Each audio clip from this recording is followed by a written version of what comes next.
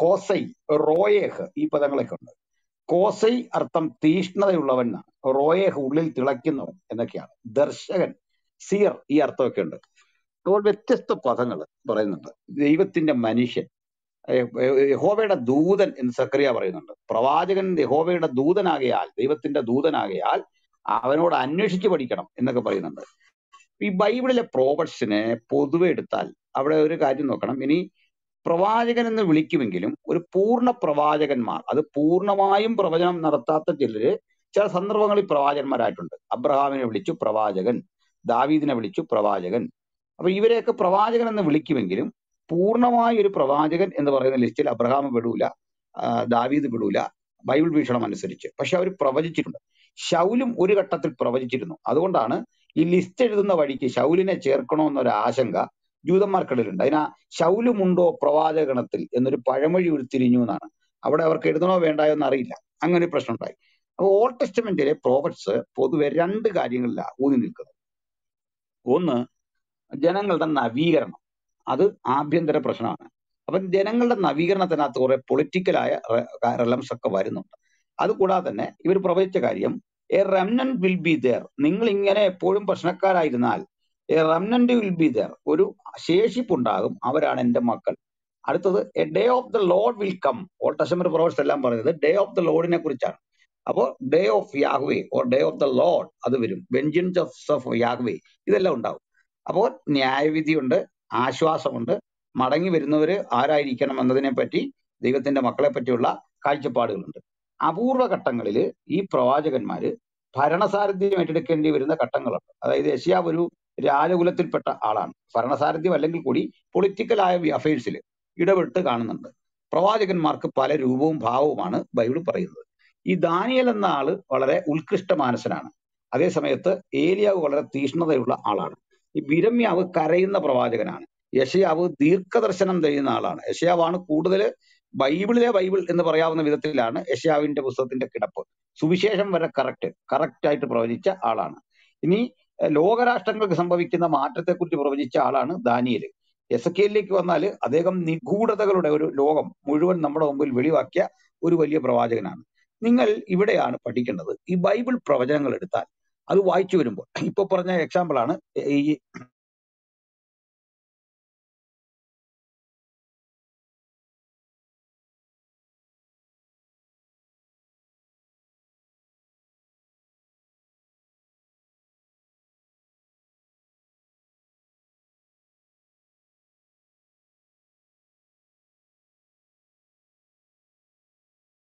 കുലുങ്ങുന്നു. യശയാവ് സമാനമായ കാഴ്ച കാണുന്നുണ്ട്.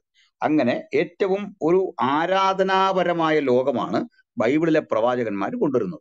ഈ പ്രവാചകന്മാരുടെ കണ്ണിയിലെ അവസാനത്തെ ആൾ എന്ന് പറയുന്നത് നമ്മുടെ സ്നാപകനാണ്. സ്നാപകനെ പ്രവാചകനായിട്ടാണ് ലോകം കണ്ടത്. യേശുവിനെ പ്രവാചകൻ എന്ന് വിളിക്കുന്ന ഭാഗമുണ്ട്. ഇനി പൗരോസ്ലിയെ പ്രവാചകൻ എന്ന് വിളിക്കുന്ന ഭാഗമുണ്ട്. ഷൗൽ എന്നീ പ്രവാചകന്മാരും ന്യൂ ചർച്ചിലും പ്രവാചകന്മാരുണ്ടായിരുന്നു. അപ്പോ പ്രവാചകന്മാർ എന്താണ് ചെയ്തത്? അല്ലെ പ്രവാചകിമാരെന്താണ് ചെയ്തത്? ഫിലിപ്പോസിന്റെ നാല് പുത്രിമാർ പ്രവചിക്കുന്നവരായിരുന്നു എന്ന് പറയുന്നു. ഈ പ്രവാചകന്മാരെല്ലാം ദൈവഹിതത്തിന് വേണ്ടി നിൽക്കുകയായിരുന്നു. ഇവരിൽ പലർക്കും അവരുടെ ജീവിതം തന്നെ ത്യജിക്കേണ്ടി വന്നിട്ടുണ്ട്. ബൈബിളിലെ പ്രവാചകന്മാരിൽ ദാനിയൽ ഒഴികെ മിക്ക ആളുകൾക്കും ദാനിയലും അതുപോലെ എടുക്കപ്പെട്ട നമ്മുടെ എന്താ ഏലിയാവ് ഒഴിച്ചുള്ള പ്രവാചകൻ ഹാനോക്കിലൊക്കെ ഒഴിച്ചുള്ള പ്രവാചകന്മാരെ എടുത്താൽ ദാരുണ മരണമാണ്. ഒരാശയത്തിന് വേണ്ടി മരിക്കേണ്ടി വരിക. വാളിനാൽ വെട്ടപ്പെട്ടു കൊല്ലുക കല്ലീറിനാൽ വധിക്കപ്പെടുക ഇങ്ങനെയൊക്കെയുള്ള കാര്യമാണ്. ഇവരാരും തന്നെ ഇവരിൽ ഈ അബ്രഹാമും ഒക്കെ ഒരു നാട്ടുരാജാവിനെ പോലെ ജീവിച്ച ആളുകളാണ്. ദാവീദ് രാജാവാണ് സോളമൻ രാജാവാണ്. ഇവരൊക്കെ ബഹുവാര്യത്വം അനുഷ്ഠിച്ചിട്ടുണ്ട്.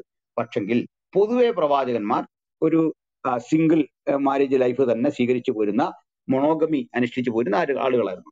ഇനി പുതുനിയമത്തിൽ വന്നാൽ പാടെ ഉയർന്ന വിശുദ്ധ ജീവിതമാണ് അവർ നയിച്ചത്. അവരുടെ വായിൽ നിന്ന് ഒരു അശ്ലീലം വരുന്നില്ല അവരുടെ വായിൽ നിന്ന് അനാവശ്യം വരുന്നില്ല അവരുടെ പ്രവൃത്തിയിൽ ഒന്നും തിന്മ വരുന്നില്ല. അവർക്ക് ഭാര്യമാരുണ്ടെങ്കിൽ ഭാര്യമാരോടൊത്ത് ജീവിക്കാം മക്കളെ പ്രാർത്ഥനയോടെ നല്ല നിലയിൽ വളർത്താം. കുടുംബജീവിതം ഒന്നും ബൈബിളിനെതിരല്ല പക്ഷെങ്കിൽ അതിരുവിട്ട ലൈംഗിക അരാജകത്വത്തെ പുതുനിയമം കർശനമായിട്ട് എതിർത്തു. ഇവിടെയാണ് നമ്മൾക്ക് ഏറ്റവും അധികം ഒരു സങ്കടം പ്രയാസമൊക്കെ തോന്നുന്നത്. ബൈബിൾ ഒരു വലിയ എത്തിക്കൽ പ്രിൻസിപ്പിൾ ലോകത്തിന് കൊടുത്തു.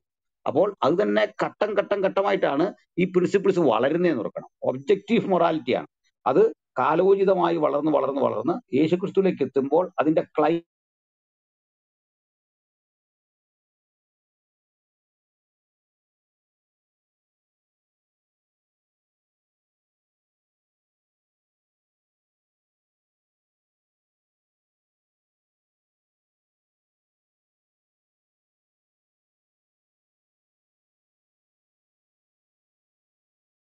മറുഭാഗത്തുനിന്ന്.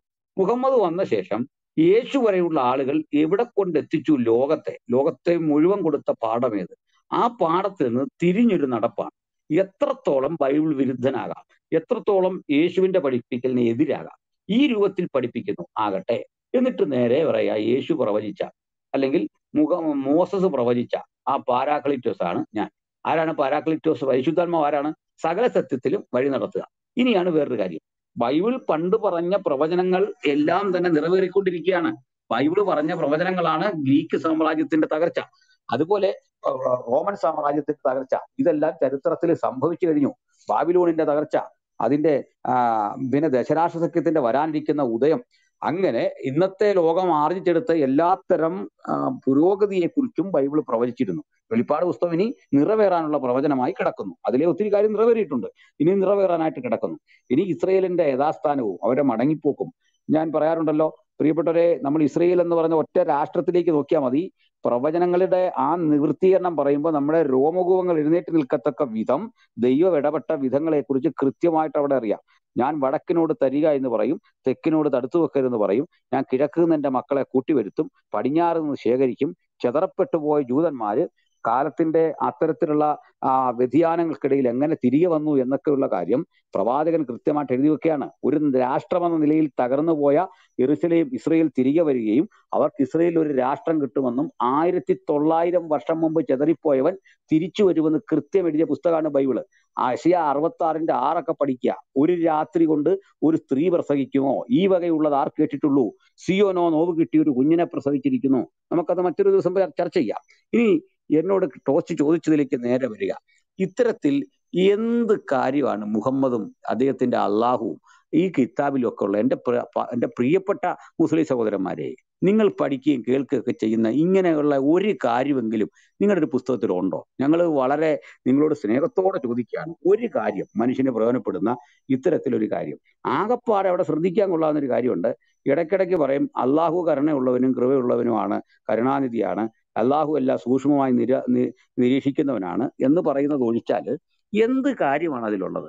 ഞങ്ങൾ ഈ പറഞ്ഞ പോലെ ഏതെങ്കിലും തരത്തിലൊരു കാര്യം മനുഷ്യന്റെ മനസ്സിനോട് ഇടപഴകുന്ന ഹൃദ്യതയുള്ള ഒരാലോചന അവിടെ കാണുന്നില്ല. നമ്മൾ കാണാത്തതുകൊണ്ടാണ്. കണ്ടാൽ നിങ്ങൾ പറഞ്ഞാൽ മതി.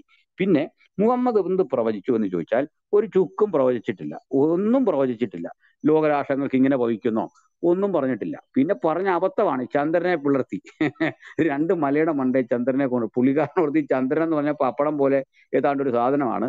അതിങ്ങനെ പിന്നെ തിരിച്ച് വീണ്ടും ഒട്ടിച്ചു. സൂപ്പർ ഗ്ലൂ വെച്ച് ഒട്ടിക്കുന്ന പോലെ ഒട്ടിക്കാവുന്ന സാധനമാണ്. പിന്നെ ആകാശം ഒരു തളിക പോലെയാണ്.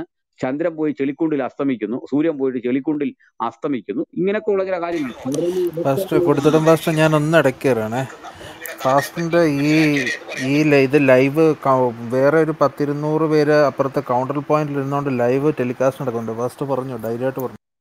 കൗണ്ടർ പോയിന്റ് ചെയ്യട്ടെ നമ്മളിത് അവരെവിടെയും ചെയ്യട്ടെ കുഴപ്പമില്ല. അപ്പോൾ അതിൽ സന്തോഷമേ ഉള്ളൂ ആ സഹോദരന്മാർ ഇതെല്ലാം ചെയ്യട്ടെ നല്ല കാര്യം പ്ലസ് അറുന്നൂറ് പേര് കേട്ടോളും അതെ അതെ തീർച്ചയായിട്ടും തീർച്ചയായിട്ടും.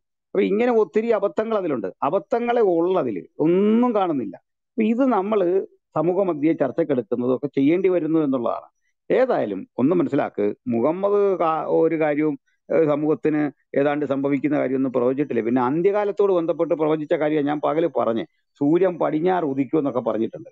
അങ്ങനെ കുറെ കാര്യങ്ങൾ പറഞ്ഞിട്ടുണ്ട്. അവസാനം ഒരു വലിയ കാര്യമുണ്ട്. ഈസാ നബി വന്നിട്ട് ക്രിസ്ത്യാനികളോടും കൂടെ കൂടി നിന്നുകൊണ്ട് മുഹം ഇസ്ലാമിയുടെ കൂടി നിന്നിട്ട് ഭയങ്കര യുദ്ധം ഇവിടെ നടത്തുമെന്നും ഈസാ നബി കല്യാണം കഴി കല്യാണം വിട്ടൊരു ഏർപ്പാടില്ലല്ലോ. അപ്പോ അങ്ങനെ സകല വിധത്തിലുള്ള പരിപാടികൾ ഈ രൂപത്തിലൊക്കെ ഉള്ള കുറെ കാര്യങ്ങൾ പറഞ്ഞിട്ടുണ്ട് ഇതൊക്കെ പൊളിയുന്ന കാര്യം നടക്കാൻ പോകുന്ന കാര്യമല്ല അങ്ങനെ പിന്നെ വേറൊരു കാര്യം ഈ ബൈബിളിലെ പ്രവാചകന്മാർക്കൊക്കെ പ്രവാചകന്മാരാകുന്നവരെ സെൽഫ് ക്ലെയിമിൽ നിന്നല്ല. അത് മനസ്സിലാക്കണം. ഈ പ്രവാചകന്മാരെ അപ്രൂവ് ചെയ്യാനും അവരുടെ വാക്കുകൾ ദൈവികമോ എന്ന് പറയാനുമുള്ള മെഷർമെന്റുകൾ അവിടെയുണ്ട്. ഒരു പ്രവാചകൻ പ്രവചിക്കുകയും അവരുടെ വാക്കുകൾ ഒത്തുവരികയും അങ്ങനെ നിബന്ധനകൾ ഏറെയുണ്ട്. ഈ നിബന്ധനകൾ വെച്ച് ഇവർ വിലയിരുത്തിയ ശേഷമാണ് ആ വാക്കുകളെ പ്രവചനമെന്ന് വിലയിരുത്തുന്നത്. നമുക്കറിയോ ഇരമ്യ മുഖാന്തരമുള്ള ആ പ്രവചനം നിവൃത്തിയാകേണ്ടതിന് എന്ന് പറഞ്ഞാൽ വേറൊരു പുസ്തകം തുടങ്ങുന്ന തന്നെ ഈ നമ്മുടെ ബാബിലോണിൽ ഇരിക്കുന്ന ദാനിയേൽ പ്രവാചകൻ ചെയ്യുന്ന എന്തെന്നാ? അത് ഇരമ്യ പ്രവചനം വായിച്ചുകൊണ്ടിരുന്നു എന്നാണ് പറയുന്നത്. അപ്പൊ ഇരമ്യാവിനെ ഉൾക്കൊള്ളുന്ന നമുക്ക് ബാബിലോണിൽ ഇരുന്നു കൊണ്ട് ഇരമ്യാവിനെ ഉൾക്കൊള്ളുന്ന ദാനിയലിനെ കാണാം. ഇവർ അങ്ങോട്ടും ഇങ്ങോട്ടും വളരെ പാരസ്പര്യത്തോടെയാണ് പ്രവർത്തിച്ചത്. പക്ഷെങ്കിൽ നിർഭാഗ്യവശാൽ മുഹമ്മദ് എന്ന ആളിനെ പ്രവാചകനാക്കുന്നത് അദ്ദേഹത്തിന്റെ ഭാര്യയും അതുപോലെ വിശ്വാസിയല്ലാത്ത ഇസ്ലാം മത വിശ്വാസിയല്ലാത്ത ബറക്കത്തിബിനു നൗഹലും കൂടെ കൂടിയാണ്. പിന്നെ പുള്ളിയുടെ സ്വന്തം പ്രഖ്യാപനമാണ്. ലോകത്ത് എവിടെ നിന്നും ഒരു അറ്റസ്റ്റേഷനും ഇല്ല. പിന്നെ പുള്ളിക്കാരൻ ഇതെല്ലാവരും സ്വീകരിക്കാൻ വേണ്ടിയിട്ട് ഓരോന്ന് ഓരോന്ന് പറയുന്നുണ്ട്. എന്താ പറയുന്നത്? അള്ളാഹു എല്ലാ ലോകത്തേക്കും പ്രവാചകന്മാരെ അയച്ചു. ഇങ്ങനെ ബന്ധം ചേരാൻ വരികയാണ്. എല്ലാവരുടെയും മീതെ ഞാനാണ് ടോപ്പ്. അത് സ്വയമായി ഇദ്ദേഹം പറയുന്നത് അത് വേറെ ആരും പറയുന്നില്ല. അള്ളാഹുവിനെ പറ്റി പറ അള്ളാഹുവിന്റെ വായിലൂടെ സംസാരിച്ചതെല്ലാം മുഹമ്മദ് തന്നെയാണ്. അല്ലാതെ ഇങ്ങനെ ഒരു അള്ളാഹു ഒന്നും ഇല്ല അള്ളാഹു എന്ന് പറയുന്ന ഒരു ഗോത്രദേവനാണ്. അപ്പം ഈ അതൊക്കെ നിങ്ങൾക്കറിയാം. മുഹമ്മദിന്റെ സെൽഫ് ക്ലെയിം അല്ലാതെ ഒന്നും ഖുറാനിലില്ല. മുഹമ്മദിന്റെ കോൺട്രിബ്യൂഷൻ അല്ലാതെ ഒന്നും ഖുറാനിലില്ല. അള്ളാഹു ഇത് അറിഞ്ഞിട്ട് പോലും ഇല്ല പാവം. അപ്പോ ഇതാണ് സ്ഥിതി. അദ്ദേഹം ഒന്നും മനുഷ്യരാശിക്ക് ഗുണം ചെയ്യുന്ന ഒരു കാര്യവും പഠിപ്പിച്ചിട്ടില്ല പ്രവചിച്ചിട്ടില്ല. അദ്ദേഹം ഒരു പ്രവാചകൻ എന്ന് പറയാൻ പാകത്തിനുള്ള എത്തിക്കലായിട്ടുള്ള ധാർമ്മികമായിട്ടുള്ള ഒരു ക്വാളിറ്റി ഇല്ല. ചുരുക്കത്തിൽ അദ്ദേഹം പ്രവാചകനാണോ എന്നല്ല ഇക്കാലം ചർച്ച ചെയ്യേണ്ടത് ഒരു മനുഷ്യനായിരുന്നുവോ എന്നുള്ള കാര്യമാണ് ചർച്ച ചെയ്യേണ്ടത് വാസ്തവത്തിൽ. സാറേ ഈ യേശു മറ്റേ ഓൾഡ് ടെസ്റ്റ്മെന്റ് വായിച്ചിട്ടുണ്ടോ? അങ്ങനെ വായിച്ചിട്ടുണ്ടെങ്കിൽ എനിക്കൊരു ചോദ്യമുണ്ട്. ഈ മത്തായി സുവിശേഷം ഇരുപത്തി ഒന്നാമത്തെ അധ്യായത്തിൽ പതിനഞ്ച് പതിനാറ് വചനത്തിൽ ഇങ്ങനെ പറയുന്നുണ്ട്. എന്നാൽ മഹാപുര പുരോഹിതന്മാരും ശാസ്ത്രിമാരും അവൻ ചെയ്ത അത്ഭുതങ്ങളെയും ദാവീദ് പുത്രനും ഹോഷാന എന്ന് ദേവാലയത്തിൽ ആർ ദേവാലയത്തിൽ ആർക്കുന്ന ബലന്മാരെ കണ്ടിട്ട് നിരസപ്പെട്ടു. ഇവർ പറയുന്നത് കേൾക്കുന്നുവോ എന്ന് അവനോട് ചോദിച്ചു. യേശു അവരോട് ഉവ്വ് ശിശുക്കളുടെയും മുല കുടിക്കുന്നവരുടെയും വായിൽ നിന്ന് നീ നീ പുകഴ്ച ഒരുക്കിയിരിക്കുന്നു എന്നുള്ളതും നിങ്ങൾ ഒരിക്കലും വായിച്ചിട്ടില്ലയോ എന്ന് ചോദിച്ചു. ശിശുക്കളും മുല കുടിക്കുന്നവരും തന്നെ പുകഴ്ത്തുമെന്ന് ദേവപുസ്തകത്തിലെ പ്രവചനമാണെന്ന് യേശു പറഞ്ഞു. അത് ഇത് എവിടെയാണ് ഉള്ളത് ഈ ഈ ഒരു വചനം പഴയ നിയമത്തിൽ?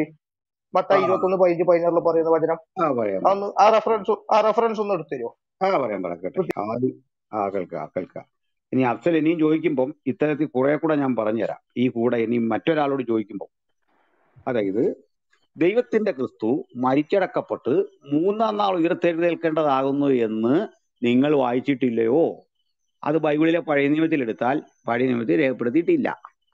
ഈ കൂടെ അഫ്സൽ അതുകൂടെ കുറിച്ചെടുത്തു? ഇങ്ങനെ ഒരു സാധനം കൂടെ ഉണ്ട്. നിങ്ങൾ പറഞ്ഞു അല്ല മിനിറ്റ്. അഫ്സൽ അതിന്റെ റഫറൻസ് ഏതാ പറഞ്ഞേ? അഫ്സൽ ഇപ്പൊ പറഞ്ഞ ഇപ്പൊ അഫ്സൽ വായിച്ച മത്തായി? മത്തായി ഇരുപ ഇരുപത്തി ഒന്നിന്റെ പതിനഞ്ച് പതിനാറ് വചനങ്ങൾ. Okay. Okay okay. Okay okay. അടുത്തതിലേക്ക് പോവാം. അടുത്തതിലേക്ക് ഇനി ഇതുപോലെ പറയാൻ പറ്റിയ കാര്യം. അവൻ നസായൻ എന്ന് വിളിക്കപ്പെടും. എന്തോ? കേൾക്കുന്നുണ്ടോ?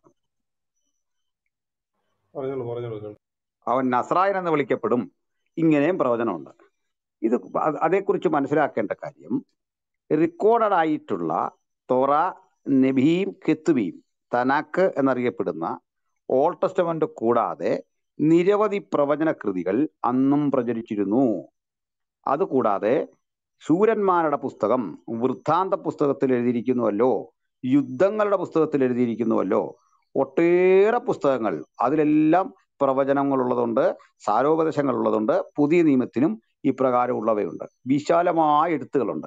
അതിൽ ഇൻസ്പയർഡ് ആയിട്ടുള്ള തലമുറയ്ക്ക് വേണം എന്ന് ദൈവാത്മാവ് കണ്ട പുസ്തകങ്ങളുടെ ക്രോഡീകരണമാണ് ബൈബിൾ എന്ന് പറയുന്നത്.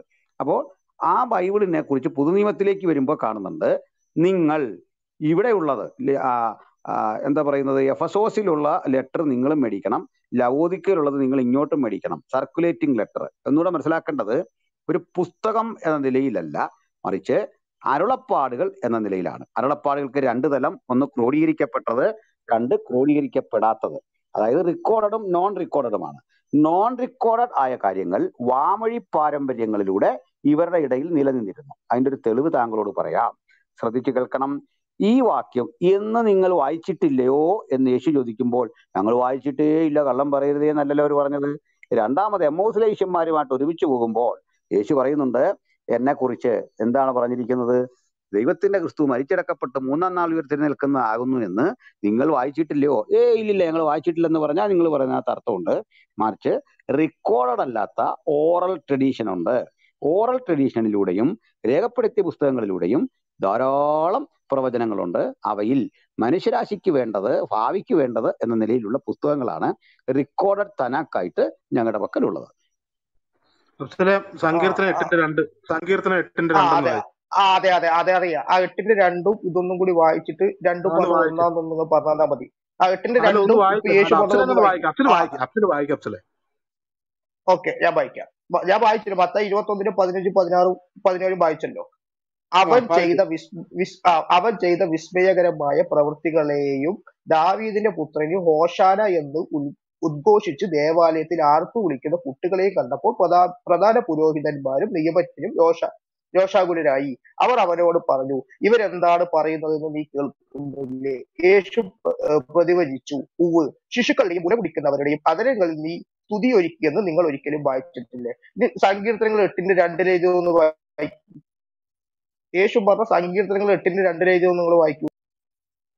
താൻ വായിക്കും ഞാനല്ലേ ഇപ്പൊ റെഫറൻസ് തന്നെയല്ലേ? റെഫറൻസ് പറ.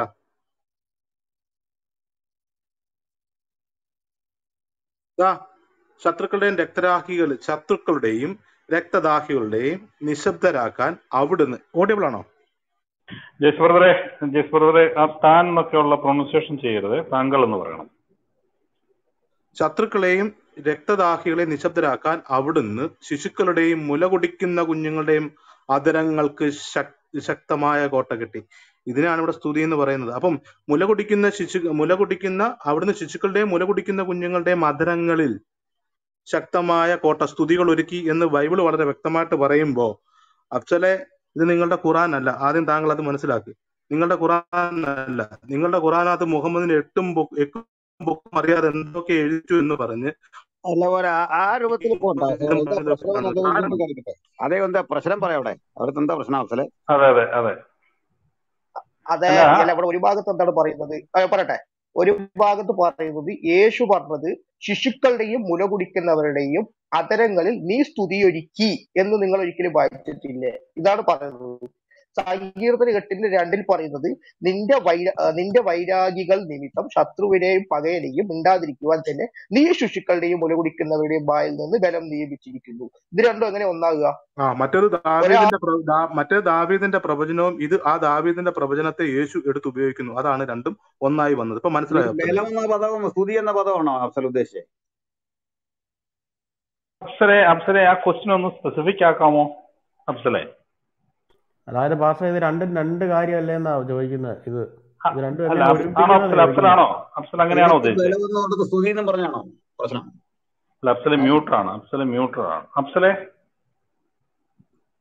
മ്യൂട്ടായിട്ടല്ലേ ഓക്കെ ഓക്കെ. അതായത് അഫ്സൽ ഈ ക്വസ്റ്റ്യൻ ഒന്ന് സ്പെസിഫിക് ആയിട്ട് ചോദിക്കാമോ? അദ്ദേഹം പിന്നെ മ്യൂട്ടാ. മെസ്സേജ് അയച്ചു കൊടുക്കും അല്ല നിങ്ങൾ അദ്ദേഹത്തെ മ്യൂട്ടായിട്ടാണോ കാണുന്നത്? ഞാൻ ആ വന്നു പോയി. ആ, നെ- അഫ്സൽ നെ- കേട്ടോ? അല്ല ആ അല്ല ഈ നെറ്റ്വർക്ക് അപ്സല താഴേക്ക് പോയി. പക്ഷേ നെറ്റ്വർക്കിന്റെ പ്രശ്നമായിരിക്കും. ഞാൻ പൊതുവെ പറഞ്ഞേക്കാം.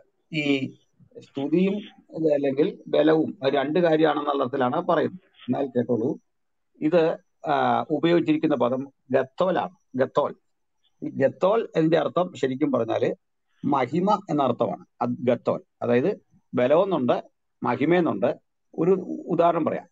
മഹാപുരോഹിതൻ എന്ന് പറയല്ലോ. ക്വീൻ ഗത്തോൽ എന്നാ പറയുന്നത്. ക്വീൻ ഗത്തോൽ അത് ശരിക്കും പ്രൊണൗൺസിയേഷൻ അങ്ങനെയാണ് ഇംഗ്ലീഷ് പഠിച്ച ഒരു കോഹൻ ഗട്ടോൽ എന്ന് പറയും കേട്ടോ. കോഹൻ ഗട്ടോൽ എന്നാൽ ശരിക്കുള്ള പ്രൊണൗൺസിയേഷൻ കൊയിൻ ഗത്തോൽ എന്നാണ്. കൊയിൻ ഗത്തൂൽ അപ്പൊ കൊയിൻ ഗത്തൂൽ എന്നോ ഗത്തോൽ എന്നോ പറയാം. അപ്പൊ ഈ ഗത്തോലാണ് ശരിക്കും അതിന് അപ്പൊ അവിടെ അർത്ഥം എന്തോന്നു? മഹാപുരോഹിതൻ. ഈ മഹാ എന്നതിൽ ഉപയോഗിച്ചിരിക്കുന്ന പേരാണ് ഗത്തോൽ ഇത് തന്നെ ശക്തിക്ക് ബലത്തിനെല്ലാം ഉപയോഗിച്ചിട്ടുണ്ട്. ഇനി പുതു നിയമത്തിലേക്ക് വരുമ്പോൾ അത് കുറെ വ്യക്തമാകും. വെളിപ്പാട് പുസ്തകം അഞ്ചാം അധ്യായത്തിന്റെ പന്ത്രണ്ട് മുതലുള്ള വാക്യം നോക്കാം. അറുക്കപ്പെട്ട കുഞ്ഞാട് ശക്തിയും ധനവും ജ്ഞാനവും ബലവും ബഹുമാനവും മഹത്വവും സ്തോത്രവും ലഭിപ്പാൻ യോഗ്യൻ. അപ്പൊ സ്തുതിവചനത്തിന് പകരം ബലം എന്നൊരു പദം അവിടേക്ക് വന്നു. ബലം ദൈവത്തിനുള്ളത് അവൻ ഒരിക്കലും അരളി ചെയ്തു. ഞാൻ രണ്ടു തവണ കേട്ടുപിരിക്കുന്നു എന്ന് മറ്റൊരു ഭാഗത്ത് പറയുന്നു. ഇനി ഇതിലെല്ലാം ഇങ്ങനെ വരാനുള്ളൊരു കാരണം ഹീബ്രുവിൽ ആകപ്പാടെ പതിനായിരത്തിൽ താഴെ വാക്കുകളേ ഉള്ളൂ. ഹീബ്രു എന്ന ഭാഷയ്ക്ക് സ്വന്തം പതിനായിരത്തിൽ താഴെ വാക്ക്. ഗ്രീക്കിന് രണ്ട് ലക്ഷം വാക്കുകൾ ഉള്ളപ്പോൾ ഇംഗ്ലീഷിന് ഏഴ് ലക്ഷത്തിലധികം വാക്കുള്ളപ്പോൾ എബ്രായ ഭാഷയ്ക്ക് വെറും പതിനായിരത്തിൽ താഴെ വാക്ക്. അതുകൊണ്ട് ഒരു വാക്കുകൊണ്ട് പല അർത്ഥം കണ്ടെത്തേണ്ടി വരും. അത്തരത്തിൽ അർത്ഥം വിവരിച്ചെഴുതിയിരിക്കുന്നതാണ് അങ്ങനെ തെറ്റിച്ച് പറയുന്ന ആണെങ്കിൽ ആ പുരോഹിതനും ചോദ്യം ചെയ്തേനെ അവിടെ കേട്ടിരുന്ന എമ്മോസിലെ ഇഷന്മാരും ചോദ്യം ചെയ്തേനെ ഒരു പ്രശ്നം അവിടെ ഉരുത്തിരിഞ്ഞിട്ടില്ല. മറിച്ച് ഇതാണ് അവിടുത്തെ കാര്യം. ബലം എന്ന് പറഞ്ഞാൽ മതി. ബലം ദൈവത്തിനുള്ളത്. ബലം എന്ന് പറഞ്ഞാൽ ഗത്തോൽ ആ ഒരു പദം തന്നെയാണ് എടുക്കുന്നത്. ഗത്തോൽ പലതിനും ഉപയോഗിച്ചിട്ടുണ്ട്. ബലത്തിന് മഹത്വത്തിന് മാനത്തിന് ഒക്കെ ഉപയോഗിച്ചിട്ടുണ്ട്. ആദരണീയമായതിന് ഒക്കെ ഉണ്ട്. സ്തുതിക്ക് യോഗ്യമായത് എന്നൊക്കെ അർത്ഥം ആ പദത്തിന് എടുക്കാൻ പറ്റും.